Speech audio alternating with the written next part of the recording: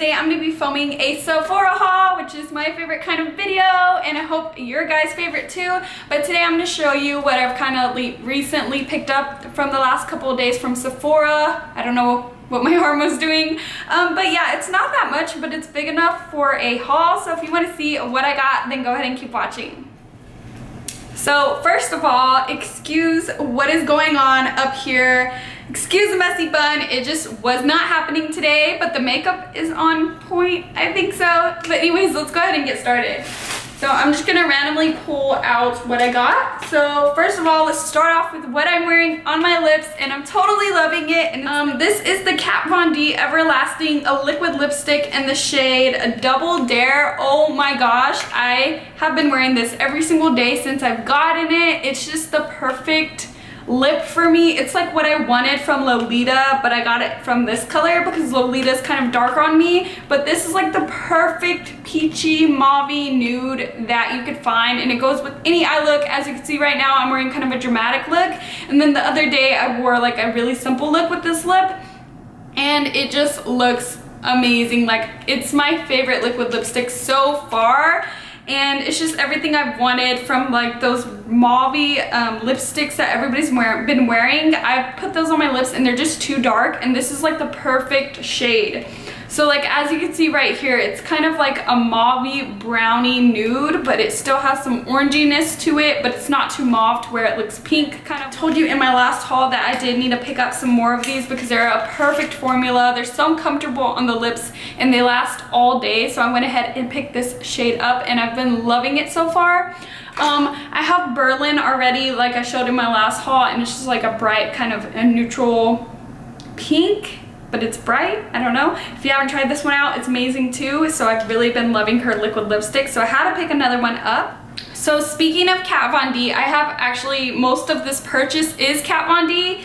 And so, so next up, what we have is what I'm so excited about. And I actually haven't touched this because I wanted to show you guys first and it's the Kat Von D Shade and Light Eye Palette, and she has a Shade and Light regular palette where it's contouring highlight. It's a contouring and highlighting palette, and I didn't pick that one up because I already had my Anastasia contour kit, but I really heard it was really pigmented, and her eyeshadows are bomb. So once I saw this, I like stared at it every single day until I picked it up, and it's just amazing. If you haven't seen it, let me go ahead and show you. Um, this is her packaging. It looks exactly like this in the side too. Like that's what the actual product looks like. And then on the back, it has the eyeshadow colors and like what family they are in. So, and yeah, that's pretty much what it's kind of set up for, like contour your eye. And I actually really do want to contour my eye, like do like a cut crease or something with this.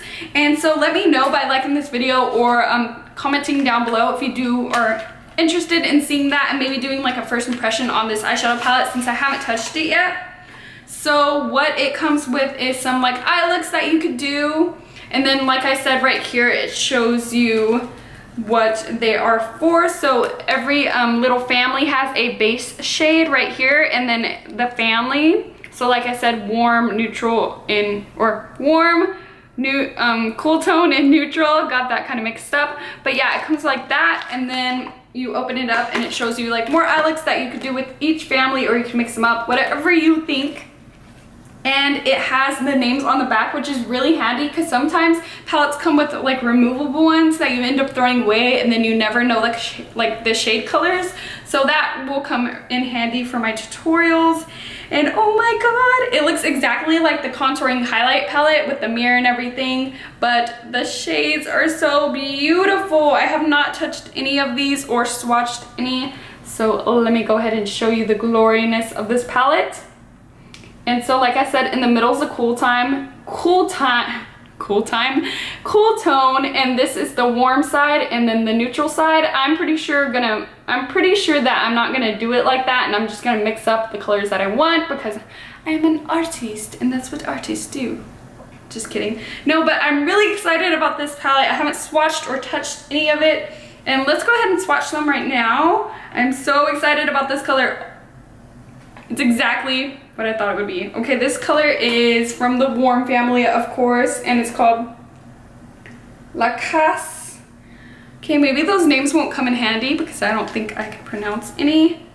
Oh my god, this is so pigmented! So this kind of reminds me of Cocoa Bear from Makeup Geek. And then this top one right here in the warm side actually reminds me of Peach Smoothie. Okay, they're really buttery, so they're so buttery to where they have that kind of powderiness to them. So there's that one. I think that one's kind of like Peach Smoothie. Sorry, I'm like comparing it to Makeup Geek, like I, that's all I use. And then I was really excited about these gray colors right here because I do not have like any gray eyeshadows. And so the top base shade is like a, a light gray. Oh my God, that's so pretty. It's like a taupe. These are like horrible swatches, guys, sorry. And then I'm really, really excited about this kind of dark medium gray. Look at that pigmentation, guys. Oh my gosh, yes. Look at that. Beautiful. So let me know if y'all want to do a first impression. Well, this kind of was my first impression, but a tutorial using this, I think I would do a really like matte cut crease look. It would look really bomb with this palette. So let me know if y'all do want to see that. So I think I'm just gonna stick with the Kat Von D so far and just show you everything I got by her. So the last thing that I got from her was a Studded Kiss lipstick in the color Chula and oh my gosh when I saw this I just thought it was completely unique and I've never seen anything like it and it just screams fall and winter time. So I'm so excited to try it out. So um, if you haven't seen her packaging, it's really, really cute. It's all black with kind of studs on it, if I could get it out of the packaging.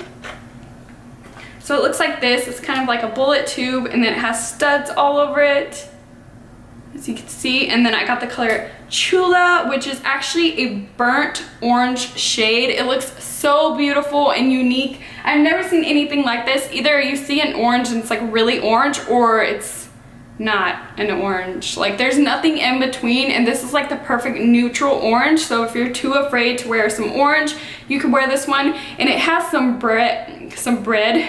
I was saying brown and red, but it has brown and red kind of hints to it. So it makes it really, um, I'm getting tongue-tied because I'm so excited, but it's it has some brown and reds to it that actually makes it pretty dang neutral. So um, I am loving it. And I think it's a matte because it's, it's going on like a matte.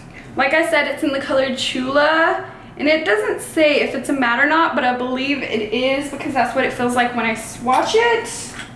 And that is the color right there. It's so beautiful. It's like a burnt orange. It's actually coming up a little bit more red on camera, but it's it's a true orange. It's just really dark and beautiful. And I cannot wait to bust this out in the fall and um, winter time. And I'm gonna wear it now because I don't really follow the rules of makeup. But yeah, it's just a really good color for the winter and fall, but you can wear it anytime. So that is all what I got from Kat Von D. I am loving her products. I can't wait to try her new eyeshadows that came out. Let me know if y'all tried them down below and if y'all like them or not. Okay, so next up, I'm moving on to some different brands. I got this Shiseido Abu Ibuki Gentle Cleanser. And this kind of interested me because it said Gentle Cleanser on it. And as y'all know, I don't, I think I've told y'all in my empties video, I use the Cetaphil I have my empties basket right here. Let me just show you. I use the Cetaphil Gentle Cleanser by Cetaphil and I really, really love it. So once I saw this, I kind of wanted to give it a try and see like what the difference was. And so I went ahead and got a sample a couple weeks ago and I've been using it and uh, I fell in love and I had to purchase it. It's kind of like the Cetaphil cleanser times 10. It's just really amazing. Um, let me go ahead and show you what it looks like. So it comes in a squeezy tube like this and um, it has this white kind of cream consistency. I don't know if you are going to be able to tell, but it has kind of a luminosity to it.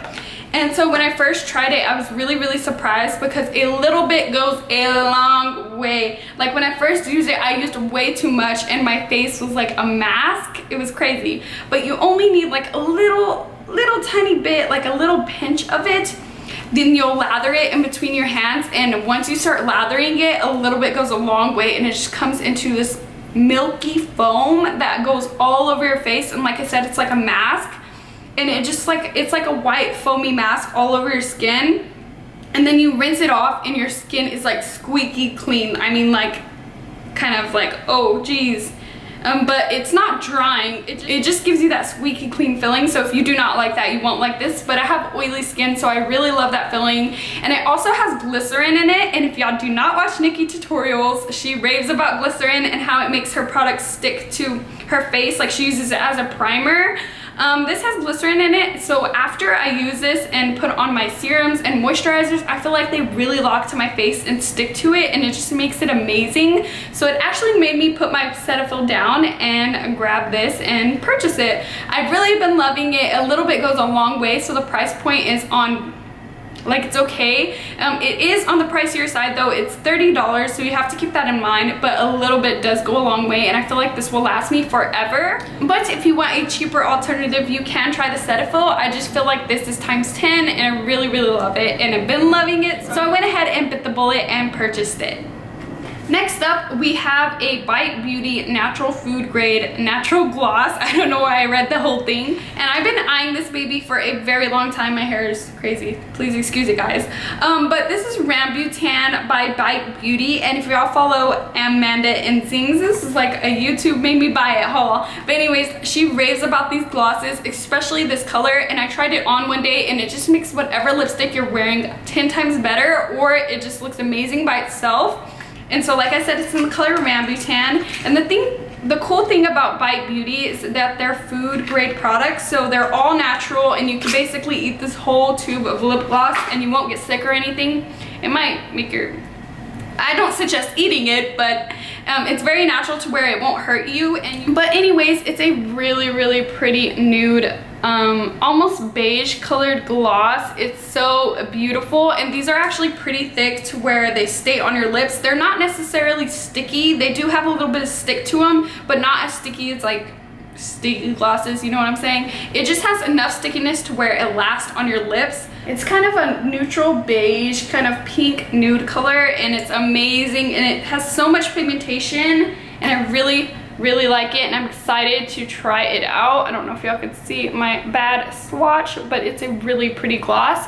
And I stuck on my NYX Butter Glosses and I like own no other brand of gloss. So I really wanted to try out that brand and make sure I do like it before I purchase other ones because I just use NYX all the time and I kind of want to switch it up.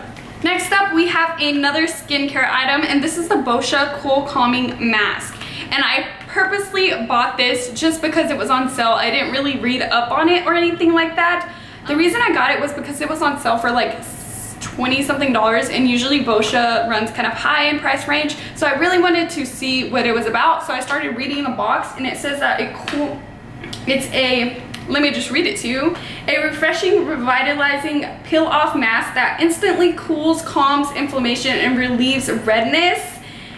Um, Mara Marine Harvest Sea Whip, one of the world's most powerful anti-inflammatory ingredients, helps smooth and revive calmer, clearer skin. And it's a peel-off mask. And the reason it interested me after I, like right after I read it, I was like, heck yes, it's on sale, I'm gonna buy it. And the reason why is because I pick at my face and um, you probably know that by now because I always mention it in my videos, but I pick at it and one, like after I pick at it like I'm not even harshly picking at my skin. Like I'll barely go oh like what's that? And I'll like scratch it or whatever. And my skin is so sensitive that it will like inflame. Like it will get red and just look like I jacked up my face basically. That's why I do not suggest picking at your skin.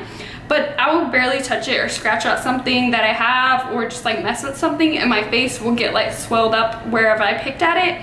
And it'll also get a lot of redness so I was thinking after that happens to me or after I accidentally scratch something or do something weird to my face and it gets inflamed, I could use this because it does have those anti-inflammatory properties in it and it's a cooling, calming mask. So what you do is apply it to your face and then you'll just peel it off after. And I really wanted a, a calming mask because all I have is like Glam Glow and like really harsh um, mask. So those tend to purge my skin after I use them. So after I use them, I end up breaking out because it's purging like everything, everything's coming out of my pores. And I wanted a mask that I could use that if I just want to pamper myself that day, I could use it and it won't affect my skin in any way. Like it won't purge my skin or make me break out. And so this just sounded like it was good enough for all those things that I wanted. So I went ahead and got it and I'm really excited to try it out. I believe it's a blue color. I kind of looked up reviews about it. Yeah. So it's a blue kind of gel consistency. And then you just apply it. Oh, it's coming out. You just apply it to your face and then peel it off when it dries. And I'm really excited to try it out. Um, a lot of people said that the bad, the only bad thing about that is that you have to use quite a bit so you can actually have enough to peel off the mask or else it will kind of just flake in different spots. But yeah, I'm really excited to try that out. And last but not least, I got the Makeup Forever Professional Aqua Liner in green. And I've actually been wanting this one and the blue one that um, they have and it's never in stock. So when I saw this baby back there I went ahead and grabbed it. And it's to me it's just really really pretty and I could see myself doing a really pretty tutorial with it. So it's the aqua liner so it's waterproof and it's this really majestic metallic green shade. I don't know if y'all it's focusing yeah and um, I just see myself like if you don't, if you really don't want to fuss with your eyeshadow, you could just do kind of natural shades in the crease and then pop this on and it's like you tried really hard and did like a awesome eye. And to me, when you swatch it, it's just so gorgeous. It's like not even green green, but it's like a weird kind of emerald green and it has some metallicness to it and also some glitter and it dries pretty quick. And the applicator is good, so I wanted to give it a try. So if y'all want to see this in a tutorial, please let me know. But see, it's so gorgeous. But yeah, that is all I got. I hope that you enjoyed this haul. If you have any questions about the products that I mentioned, please leave them down below and I'll be sure to answer for you guys.